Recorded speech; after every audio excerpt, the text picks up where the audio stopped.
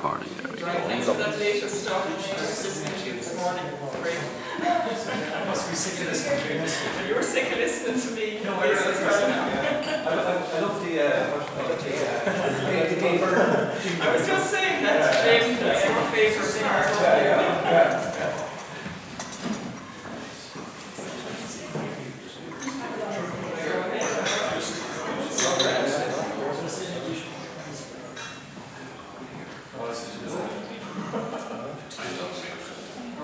Okay, folks, you're very welcome to another Irish Lunchtime lecture, where we try and look at all the different areas of Irish Studies and how they fit in and how they can mutually inform each other. And this one is a particular speciality, I think it's fair to say, of Mary Um, Joan O'Sullivan's title is Ergas is your only man. Irish English in radio advertising in Ireland. And what Joan is going to do is she's going to do some corpus linguistic analysis and she's going to work out how, um, when the findings are analysed, how language changes, as she calls the ideological temperature um, in the period in which she's writing. So it sounds absolutely fascinating and it's a very focused and interesting discussion on language. Joan is here with us. She's running our um, our taught MA program in applied linguistics. And uh, it's gone extremely well in the first year. And we have a number of people who are looking to upgrade to a PhD, which is great news for us. So we're very, very pleased about that, that obviously that we're doing something right and they want to keep going. So whatever it is, we keep doing it and hope for the best. So without further ado, I give you Joan O'Sullivan. Ergas is your only man. Irish English in radio advertising in Ireland. Go. Thanks a million, Eugene. So thanks a lot for coming along and I suppose if you're expecting to hear something about bottled gas, you're, you're in the wrong place. But I'm going to talk about language ideology in radio advertising in Ireland and it's based on a corpus of ads from 1977, 87, 97 and 2007. A lot of them are actually Christmas ads, so I hope I don't sort of you know, disorient you or whatever that you think you're in a different season. But just um, roughly, the outline is I'm just going to talk a little bit about language ideology and its relationship with the media. Look at specific language ideologies in the Irish context. Then we're going to turn to the radio ad corpus and look at the overall findings. And then look at the earlier, uh, the, the sub-corpus, so 1977 and 87 and 97 and 2007, and draw some conclusions and we'll be playing lots of ads along the way. And stop me if you want to ask anything, you know, be sure to, to stop me. Um, okay, so just first of all, I suppose to look at what language ideologies are.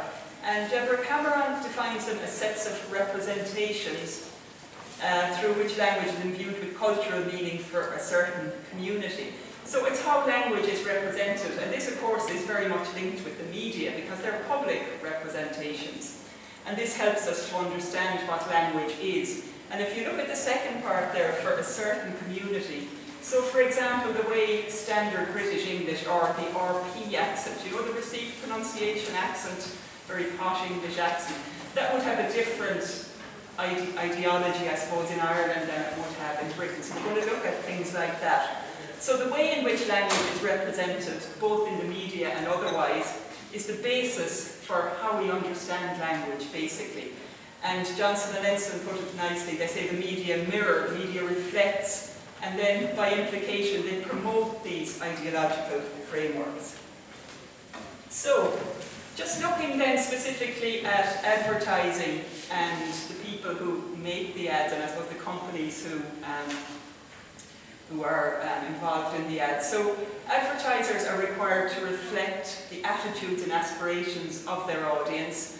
And so because of this, the analysis of advertising, as Eugene said it earlier there, it can function as a way of kind of taking the ideological temperature in a particular society. So it's really interesting in the sort of longitudinal look at these ads to see the way the ideology might have changed over time. So what can we learn about the ideological temperature of society in Ireland from studying corpus of radio ads? Okay, so looking again, back to our definition there on the left-hand side of language ideologies as representations, just to keep that in mind. But if we look at nationalist language ideology, so it's this ideology of one nation, one language, and the fact that lack, or the idea that lack of a national language is a high obstacle in establishing um, national identity. So if we don't have our own language, can we actually be a nation? And then standard language ideology, the notion that there exists only one correct spoken form of the language which is modelled on one correct written form. And it has been said that standard language ideology actually originated in the ideology of one nation and one language. So what, what, what does that matter? Well, I suppose if you look then at Irish English, the type of English that we speak in Ireland, I mean, can we actually, if there is only one nation, one language, then people in Britain should speak English and that's it, okay, or people in the UK should speak English and that's it. Whereas, you know, can you, can you actually legitimise Irish English, you know, English that is spoken outside of um, England? Okay, so looking specifically then at the Irish context and different ideologies, and this first one is very relevant for the, the year we're in and I suppose the season we're in. So Pádraig Pearse said that Tír gan teanga, Tirgan Anam, country without a language is a country without a soul. so obviously that brings out the, you know, the importance of language for nationhood. But if you look down at the report then from 1985, it was a long time ago now, from the Irish Independent, and it's from an article called Ireland, a nation caught in the middle of an identity crisis. So what does uh, O'Connor say? He, sa he, says we don't want an imposed language at the price of being stopped in O'Connell Street by jackbooted Gaeilgeoirí and asked to spout Irish at the point of a gun. We know deep down the real language of this country is the talk of the street, English as she is spoken with an Irish inflection, which is to say one of the richest languages in the world in its capacity to express colourfully the myriad sensations of the human spirit. So this gives, I suppose it kind of, it reminds me a bit of Synge anyway. You know, we talked a lot about the rhythm of the Irish being sort of transported or carried over into the English language.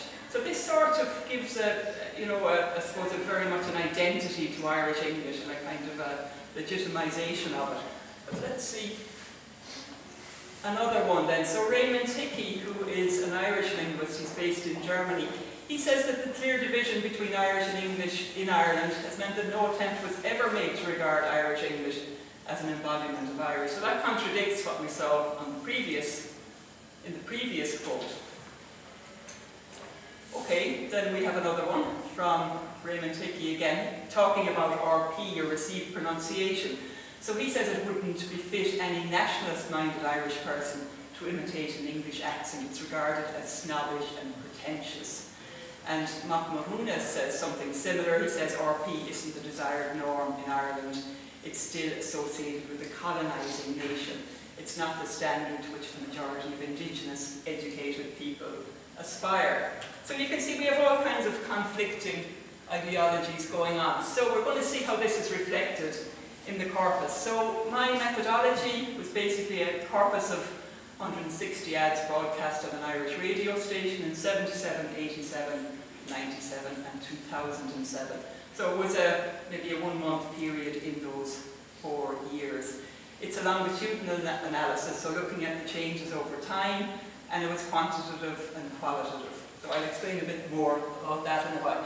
Yeah, intervarietal and intravarietal levels. What I mean there, it was it looked at um, different varieties of, in terms of language, but also different um, varieties of English, so Irish English, British English, American English, and so on. And the intra-varietal was in, within Irish English, so the different varieties of Irish English. So I'll explain that a bit more later. So I use this sort of action and comment framework. So the action component is basically the little um, dialogic scenario. So you might have two women in a shop discussing a product, for example. The comment component then is like the voiceover or the slogan.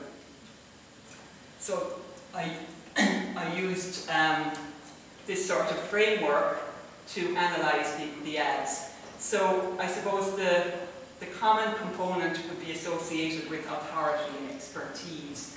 It sort of sanctions the purchase if you understand. You, can you understand what I'm talking about there? Yeah, generally you'd have this in an adjunct. It actually, I suppose you might just have a comment component or you might just have an action component, but more often than not, you would have the comment and the action. You'd have the little scenario and then you'd have the, the slogan. Okay, so these were my initial results. So you can see it's broken into action and comment. So this was the percentage of ad components displaying the different features. I'm not sure if you can see it clearly enough. This was all the, I suppose, even suggestion of a language or a variety in the corpus. So it might have been the actual language. You can see French there. So it could be actually a French word, a French phrase, or just French accented English. So if we just run through them very quickly, the one at the top there, the pinkish one is South American, so this was a South American accent. Um, North American, that was partially um, American accent and then dialect as well, something like howdy I think it was in a Tayto ad. And German, which was always interestingly, there were no German accents, it was just German like Vorsprung, durch Technik, I don't speak German, so forgive me for my pronunciation.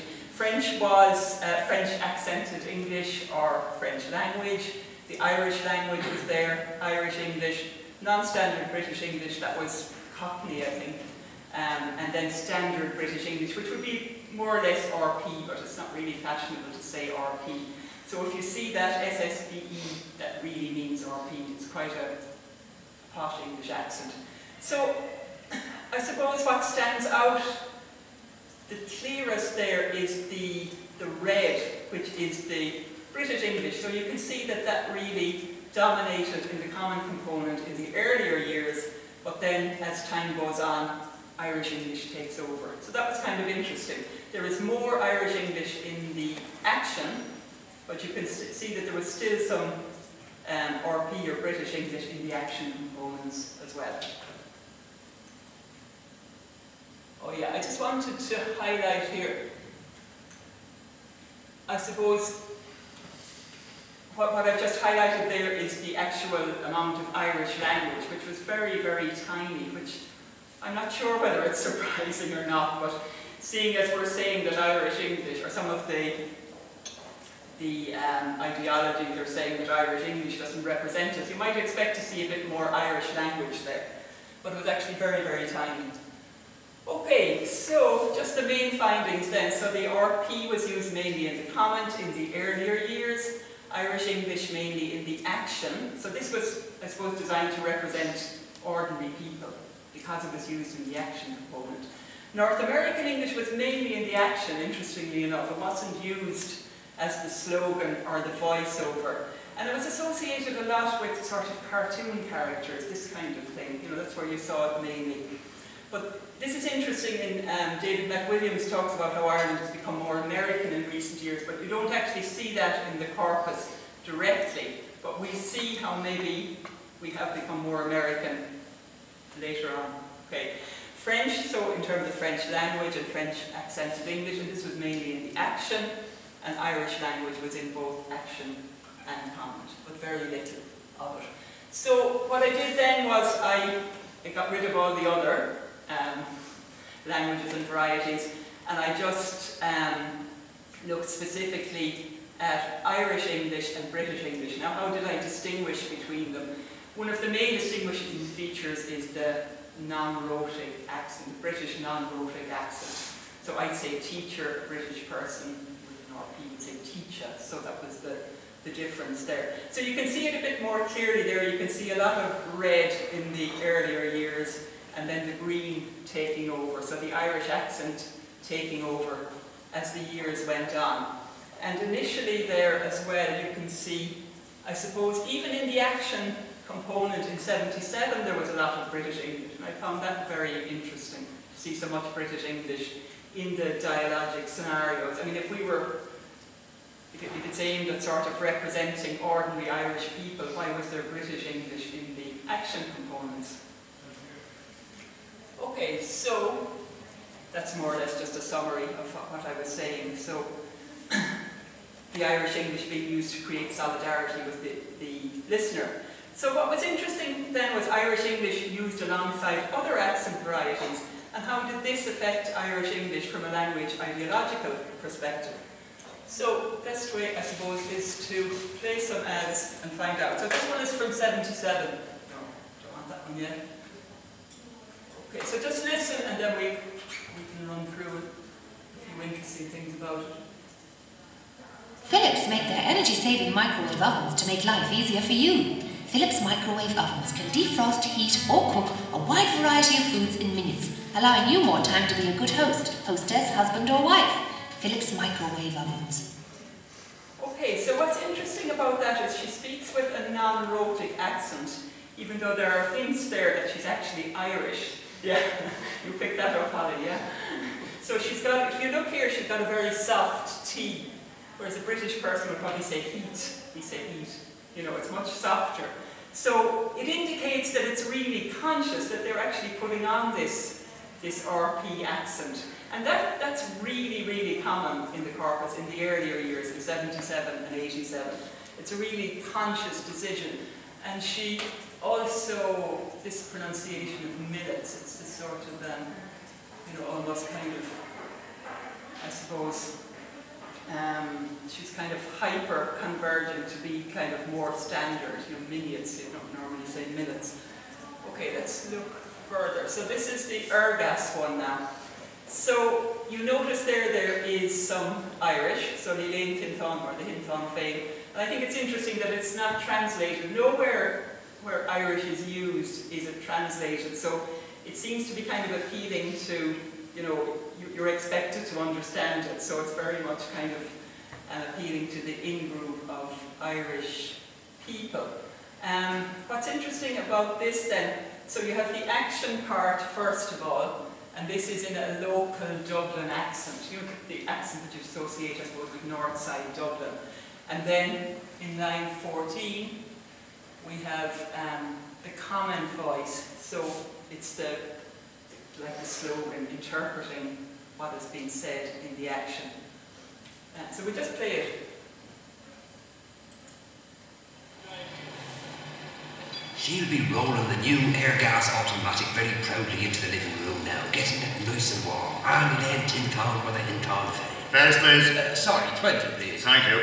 The more I think about it, the more sense our change to Ergas heating makes. The bills are down already, and you can't beat instant heat. Ah, Ergas is your only man. Don't just think about Ergas this winter. Change now for better value all round. Uh, next up, please. Ergas. More gas for your money.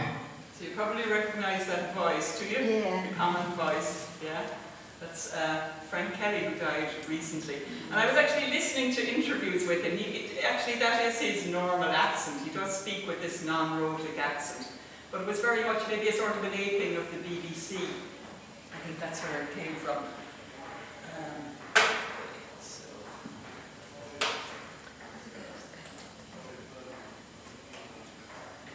Okay, so we can see that the SSBE or the RP is the voice of authority. So we could say this is a standard language ideology. But at the same time, we have this association of local Dublin with the Irish language. So you, you saw Elaine Tinton or the Hinton Fane there. So this kind of valorises the Irish English. So we could say it's kind of a bringing together of the standard and the nationalist to an extent. Okay, so we're going to listen to these ones. So in these ones, there are two Perrier ones, one set in Dublin and the other in a rural place somewhere. So there's a nice, interesting merge here of Irish English, very local Dublin again, north side, French, and the RP. So I just listen, get you to listen to the, the two of them, and then maybe you can give me your impressions. Look,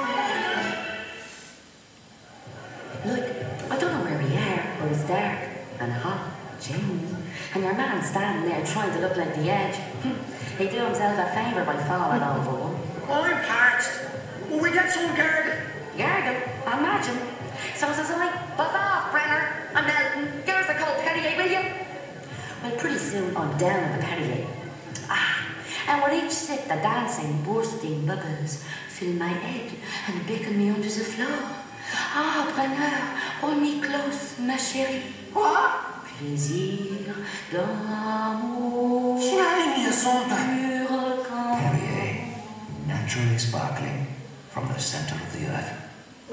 Okay, so you have the RP voice there, the comment. You have a lot of very sort of local Dublin accent and dialect, dialect, sorry, like Janie, for example. And there's a sort of a, I suppose, a resonance of Roddy Doyle, you know, these kind of, you know, Assumpta, these kind of characters. So there's this kind of thing going on as well. Okay, let's just listen to the rural version.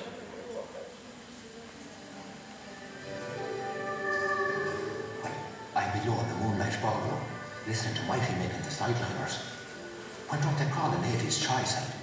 But herself starts towards me, and sure, you know, I can't put a foot under me at all at all. So I hide behind me Perrier with me cap well pulled down like, and when I take a sip out of the sparkling liquid, with its tiny diamond-like bubbles that seem to create a halo around the golden tresses of the goddess before me. Ah, ma beauté, ma petite ballerine, allons, danser au rythme de la valse, au rythme de nos naturally sparkling Perrier from the center of the earth. Okay, so in this rural one, it's kind of interesting because I talk about the edge and U2 in the first one. This one you had Mighty Nick and the sideliners. Does anybody remember who that? I suppose Big Tom and the mainliners. Is there eight? So that's what that, that's referring to there. Sure you know at all at all. I suppose Miley from Glenroe. This is kind of intertextuality referring to other texts all the time. So what's your impression of the Irish English there? You know, what sort of impression do you get about the people who are um, the speakers of the Irish English part? They're backwards. Bit backwards, yeah.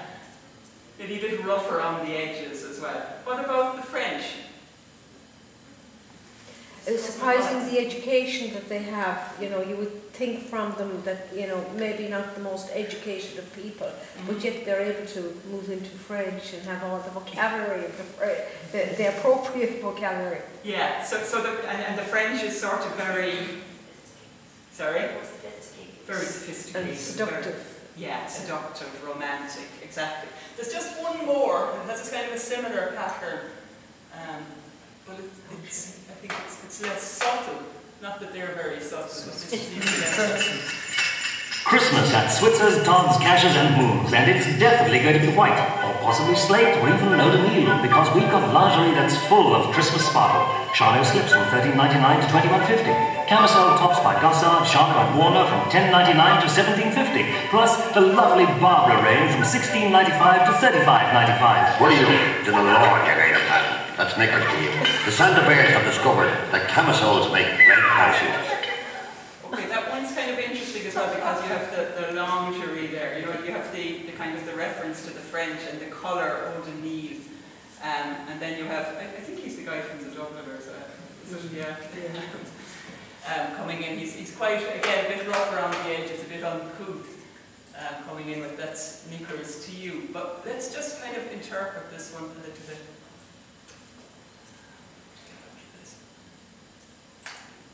See what's going on there. Yeah, so you have this juxtaposition of Irish English and this kind of represented a bit uncouth, a bit rough around the edges. The standard British English is very posh, then coming in as the common voice, and that's also associated with the French in the last one, in the Switzer's one, because he, he uses these French expressions, the speaker of British English. And then the French is very romantic and sophisticated, as you said. But we could instead of kind of looking at this as denigrating, you know, kind of, um, I suppose, putting down the, the Irish English, we could look at what uh, Nik Coupland talks about, a sort of an ideological alignment against posh, because the way uh, Ronnie Drew, I think, comes in with, you know, that's knickers to you, he's very much othering the French and the um, the English. He's putting them as a kind of an outgroup. You know, we, you know, we're more um, I, I suppose, um, you know, I'm speaking directly to you. We realise that this is all a little bit harsh and a little bit snobbish. Um, and it also, I suppose, this ideological alignment against posh, this comes into uh, play with what Fairclough talks about this kind of conversationalization of discourse where, you know, I suppose the, the, the speech of, you know, everyday speech is much more acceptable now in, um, in the public domain. You know, even if you listen to radio stations, it's, it's far less formal than it was maybe 50 years ago. And this is what Irvine and Gal talk about there than what you saw in the previous end. It's kind of othering. So it's excluding, I suppose, one group. And by doing this, it's kind of reinforcing the inclusion of the Irish English speakers.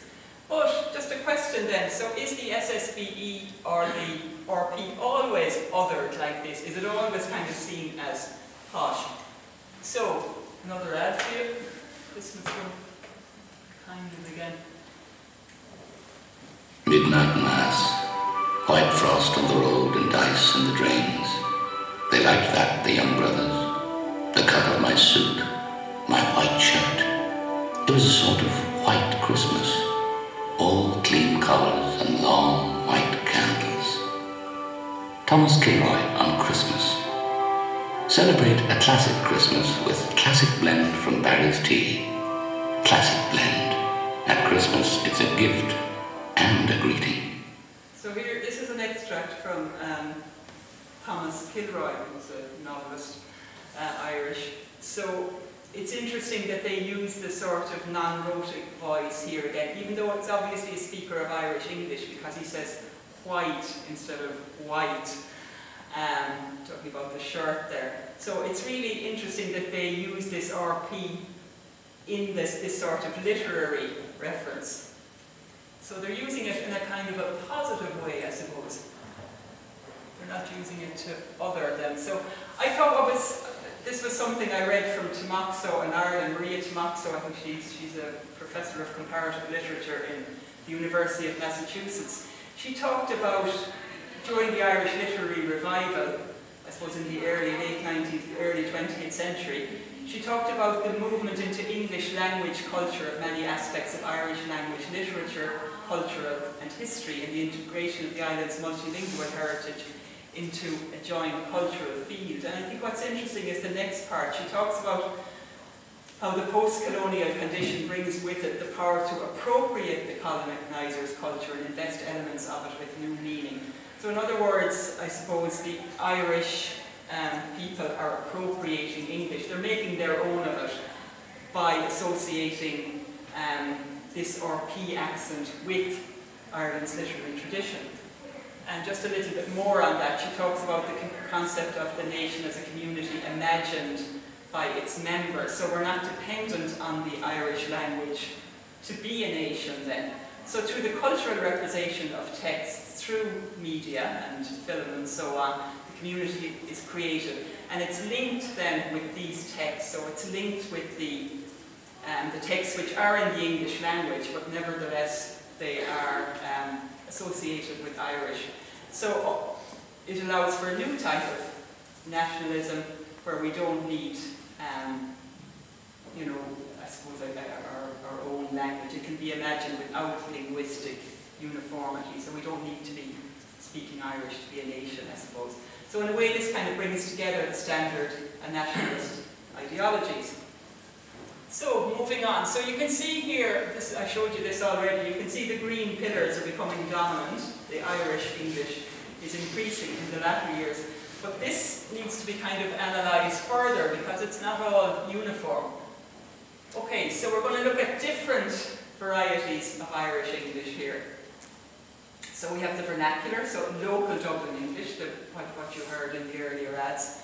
And this is associated with speakers who show the strongest identification with traditional conservative Dublin life, and the accent is associated with that. And then you have, I've lumped in the others together, other regional, rural and provincial accents. So that would be in the second period I suppose. And then we have the non-vernacular, and these are sort of seen as a kind of a quasi-standard, even though there's a bit of controversy about that. The first one there, it's like it's sort of an educated accent. It's called super-regional southern, which basically means it doesn't, it has lost its very local features. So it's less regionally bound. So this is derived from middle-class Dublin English of the mid-20th century. Then we have moderate Dublin English, which is basically the same as super regional Southern, but you have more of a, uh, I suppose, a Dublin touch to it. So, like Dublin people would say soft rather than soft. Okay, a kind of a longer um, sound there. And then we have Advanced Dublin English, and you might know that better as D4 or Dart speak. So we're going to look a bit more at that. And this dissociates from the local. So this is the breakdown then in terms of the different varieties of Irish English. So you can see the green are the very local ones. We have the Dublin and the regional ones like we heard in the two Perrier ads. And the others then are the moderate Dublin, so kind of an educated accent as well. Um, and the super regional southern is SRS, so that's the slightly darker blue. You have very light blue is the moderate, slightly darker is the super regional southern, and then the advanced Dublin English is the, the D4 accent, that's the navy. So you can see that it is, it was common, not desperately common in 1997, but it's increasing, especially in the comment components in 2007 It's definitely on the increase, and that's actually a long time ago now. I mean, that's nine years ago. I, think I need to do a bit more research. So we're going to have a look at this sort of standard Irish English and the ideology. So as we said, he says that the Irish are reluctant to accept a particular variety of English as standard um, because of this nationalist ideology. But White, on the other hand, says then an interesting quote. So one way in which we manage to reconcile our citizenship of the global village and more local allegiances is through the use of language. And in the case of Ireland, a standard variety of Irish English fits the bill rather than standard British English with its colonial overtones, or Irish, which may express some aspects of Irish identity, but does not, unlike standard Irish English, easily permit users to link their local identity with the global one. So what she's saying basically is we should go with the standard Irish English, the standard sort of educated variety, and that it's easier to link our sort of local and global identities. So, we're going to look at, this is sort of a classic one, I think I'll indulge myself and play it. Um, it's interesting in that it doesn't use any of the non-rhotic pronunciation, there's no sort of RP in it. Again, it has that kind of narrative feel to it. You know, it's quite literary, I suppose, in a way. It's one of those kind of classic ads that everybody from Ireland knows.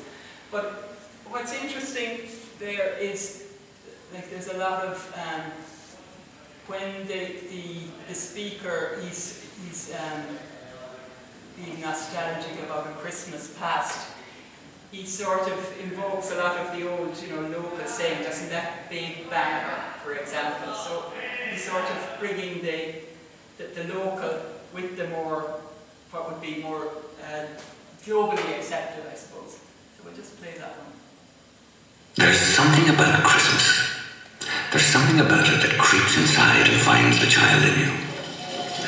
I was having a look around the shops to see what Santa might be bringing the boys, there was this train set, old style, like into maroon striped green and black carriages, all set up. And the sound it made soft, yet cut right through all the space-agey screeches in the place. And I remembered another Christmas morning, waking up, the windows frosted over with cold, you could see your breath. And the thing that woke me was that sound.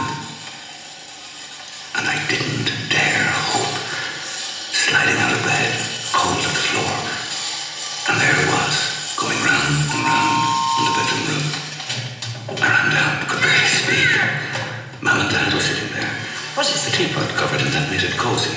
The smell of hot milky tea and brushes. guess what Santa brought? You'll never guess what Santa brought, I said. Well, doesn't that big Well, banner... doesn't that big banner, said Train Raymond. set, no A less. train set, no less. Santa the Smart. Isn't Santa the smart fella? Turn the moment gold with Barry's Gold Blend Tea. So last night, when I came home with the train set, Mary couldn't believe it. Martin, that's not She doesn't know what they wanted to do, she said. Santa will bring them what they want, I said. This is from me. Put the kettle on, we'll have a cup of tea. So you can see the movement away in, you know, it's very much turn the moment gold, it's not turn the moment gold. So again, it's an educated accent, but it's using Irish English, and again, it associates itself with some other more local Irish English features. And this is kind of an interesting, um, just if you look it up on YouTube, you can find the various comments. And just what I was saying about this sort of narrative tradition, there's one kind of negative comment there, even though most of them are saying, like some positive one down there, this makes my Christmas every year so much more meaningful as it's my first Christmas away from home. Um, so very much kind of associated with Irish identity. Then there's another one that says, I'd rather read Dubliners than listen to this creep. So it's kind of associated with you know, this kind of literary tradition. You see it as a kind of a piece of literary work. So that was interesting. Anyway, moving on rapidly. Um, looking at the new forms of Irish English then, I'm going to talk about the D4 or the Advanced Dublin English now. So sociolinguists studying minority language tend to see movement away from the traditional language as a movement away from the authentic past and the view of cultural change as cultural loss. So this is, I suppose, authenticity then is linked to ideology and Coupland talks about establishment authenticities which would say that the standard varieties are real and proper language. So the standard is authentic Whereas vernacular authenticity then is kind of the other side of it, how language really is. You know, you go out to um, the community and you look for language. So it's speech style as a basis for solidarity and group membership. So they're kind of conflicting authenticities and they're associated with the ideology as well. So if we look at advanced Dublin English, it has been said to be the most important case of language change in contemporary Ireland, so it's a shift in pronunciation um, and it's now being seen as a new standard variety. So how did it come about? In the late 80s, early 90s, there was a shift in pronunciation and the origin was in D4. Speakers saw themselves as trendy, modern, sophisticated. They didn't identify with the traditional image of Irish.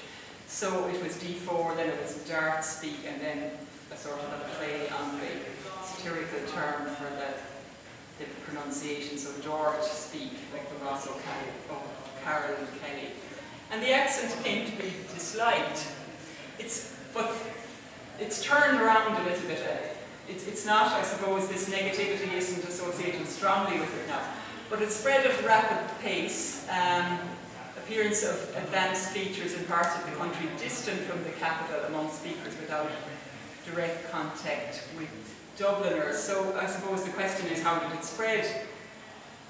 And it's a bit controversial, you know, whether the, the media had a big role in it or not, but it would seem to have had, because the national broadcaster RTE, a lot of the presenters would have these advanced features.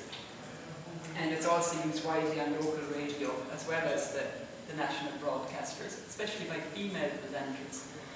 Now, uh, Robert Moore talks about this sort of moral panic that we have about advanced Dublin English, about D4. We feel we're not being authentic, or we think the people who speak D4 aren't really properly Irish. He says it has no community of native speakers, only people who are pretending to be something they aren't. It's not authentically linked to any particular place, no connection to a shared Irish past. All seem to agree that it's an imitation, that it is an imitation as opposed to real or authentic. It's no one's native accent, it's always put on. So this is how it's represented in the media. So you can see this, you know, the ideology coming from representations of language. Um, just a few, to play you a little, um, few features there. So this would be a sort of, I suppose, a rural accent. Spirit taught for your parents. Spare a thought for your parents. Just listen to it then in advance, just in English. Spare a thought for your parents. Spare a thought for your parents. Spare a thought for your parents. So you can hear the difference there. And this one. He's travelling up now. The force of the wind increased.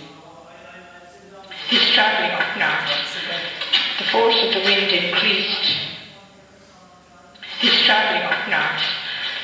The force of the wind increased. It's the north there. Okay, just listen to this. He's travelling up north. North. Yeah, north. North. This one I think is quite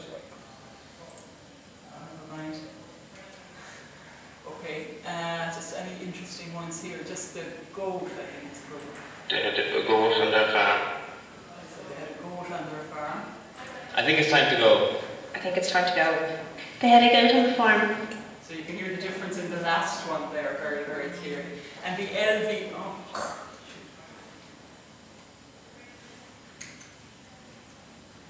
the alveolarization. This sounds very American, really, I think. In the field.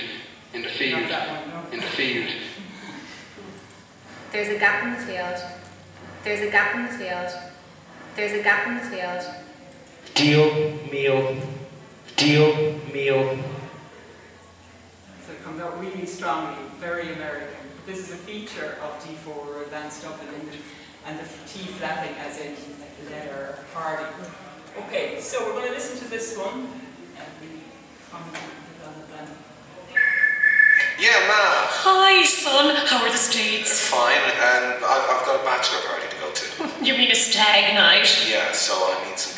I'll send it right over with Western Union. It'll be with you today. Oh, Ma, you're a star. So, son, who's getting married? Uh, I am. Son! With 400 Western Union agents in Ireland, including most main post offices, you can send money around the world in minutes. Western Union Money Transfer, the fastest way to send money worldwide. Call 1 800 395 395 for your nearest location. So you can see it in, in the son's pronunciation. It's, it's definitely a sort of um, advanced Dublin English there. Um, I suppose this, this really associates it with um, not only a kind of a youth subculture, but also it's a bit Americanized here because he talks about the bachelor party, which would be an American term, um, and contrasted then with Pauline Madeline's stag night. But just moving on. Um, okay, this one is interesting. New York, Sydney and Donegal. My family really has gone global, but with great rates from Eircom Talktime International, we have lots of proper chats, so it feels like they're local again. Let Eircom Talktime International bring loved ones closer this Christmas with 100 minutes to over 40 countries worldwide and unlimited evening and weekend national calls, all for a fixed monthly fee of $35.99 including line rental. Free phone 1-800 369 369 for a great value Eircom Talktime package that's you. Terms and conditions apply. So, I mean, this is an older speaker. She's obviously a parent character, you know. Um, so she's associating herself with the sort of contemporary image. But that one's interesting because it talks about this local and global. I thought it was really interesting the way the ad kind of gets that, you know, and what we talked about earlier. Um, okay, this is Miriam O'Callaghan, who's supposed to be the prototypical speaker of it. So you can see, if you listen to the pronunciation of home and clothes, it'd be quite British, I suppose, just to show the, you know, the, the features that are similar in American and British English. With electricity so much a part of our daily lives, Age Action and ESB Customer Supply have some advice on its safe use in the home. If you're using a portable electric heater, make sure it's positioned safely. Keep it away from curtains and don't use it to dry clothes. In the kitchen, avoid overloading sockets and using extension leads. This safety advice is brought to you by ESB Customer Supply in association with Age Action. So again, associated with an older speaker here, um, nearly finished now. Yes, just moving back again, just to remind you of that, how we reconcile our citizenship of the global village and then reconciling the local and the global. Okay, one last ad then. So this is, I think this really sums up this sort of moral panic that we have when we talk about using the D4 accent. Um, it's an ad uh, where Santa and Rudolph are making their Christmas deliveries. Santa speaks with a very D4 accent, Rudolph speaks with a Cork accent. So it sort of, you know, it exaggerates both of them. So in this way, I think it kind of brings them together, makes us face up to this kind of moral panic that we have about it. So have a listen.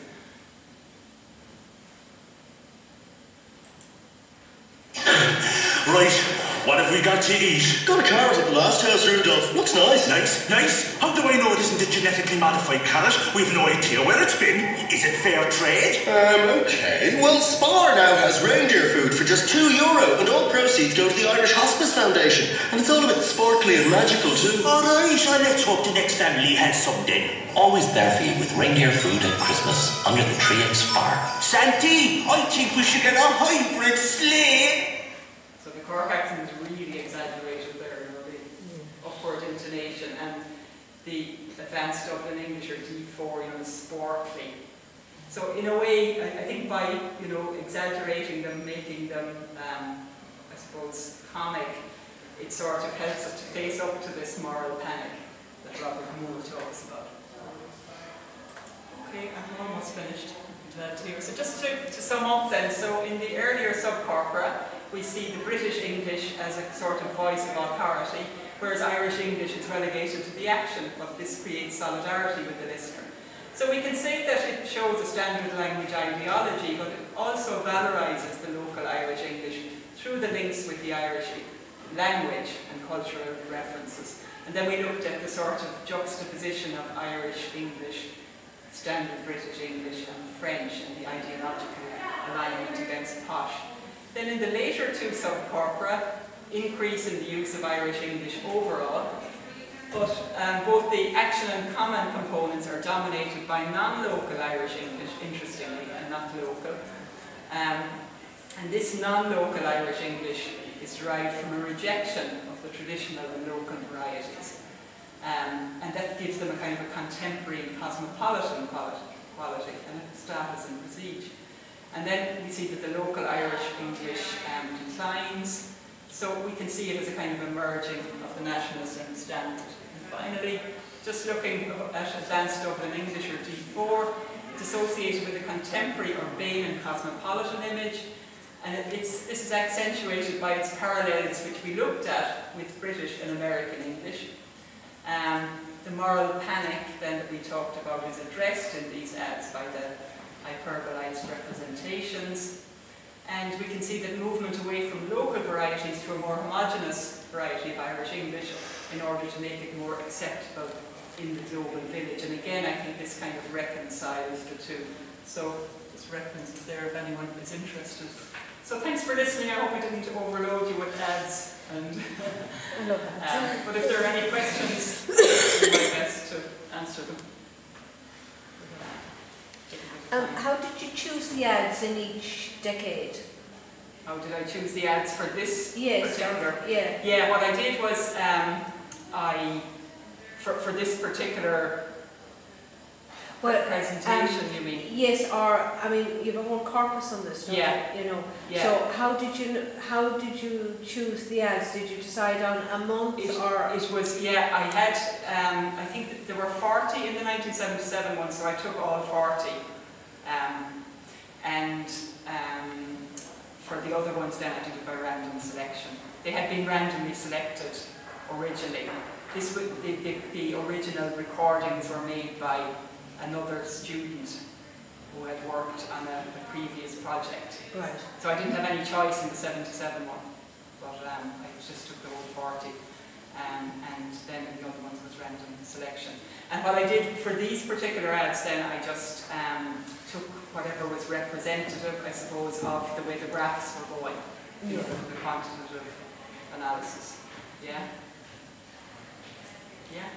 Um, I, I really enjoyed that reading. Um, it made me also think about the use of, of narration in documentaries. Um, I, I think the 1916 documentary played Lisa. I mean, the North accent slips through, but it's still kind of very anodyne and stentorian. And, Mhm. and if you put like Brendan Gleeson or you know North Side accent, it would have been a completely different film. And Yeah. a better film personally. But- Yeah, I, I you didn't see that one now, but uh, yeah, it's interesting. Maybe the fact that he played Michael Collins. Yeah, they wrote it with the- but I- also I was wondering, you know, just about the stereotype, like in ads in, in the States, um, a Southern accent always connotes idiocy. Um, and a yeah. New York accent is always kind of pushiness. And um, it used to be a British accent was always villainy. Like all the, all the villains in Yeah. movies had. British. Yeah. Like Judas was always a British actor. And, Ireland, like here, if there was ever the British accent used, or even Dublin for As a kind of a bad guy, is it? Yeah, shady or suspect. Yeah, I don't know, does- can anybody else help out with that? I I haven't actually. Sorry? The which accent? Cockney? Yes, yeah, that's true actually, yeah, yeah. I suppose you, you get that sort of across the board, I suppose when you think of, you know, Oliver, or, you know, these kind of things, yeah. I'm not sure about, you know, Irish, um, I suppose soaps or something like that, would there be? Um, and then again, I suppose, you know, it comes out, you're more dependent on accent in radio than you are in video. Well, it's kind of gone, you know, not, um, the other way, because it used to be, again, that, that the British were always, a British accent was always, um, suspicious, but now with Downton Abbey, and it's like Americans cowed by the British superiority and Yeah, class. and Exactly, I mean, there have been interesting studies done, I suppose, on, you know, what kind of an accent would you trust, you know? Um, the Irish accent rates quite highly and, you know, what people like as well, which is kind of interesting. So, But I think globally, the Irish accent is nearly more a Northern Irish accent rather than, say, even a D4 or Southern Right, Irish. yeah, yeah, that's interesting. If you look at American television and sort of they associate, because of, the say, you mentioned Neeson and I saw something recently about Roma Downey, you know, there are a lot of um, Northern Irish accents, like even, what was that one that Brad Pitt tried to be an IRA guy in New York, whatever, that thing. I mean, it was nearly a Northern Irish accent he was trying to put on, rather than Southern accent, mm. you. I certainly agree with that because I think America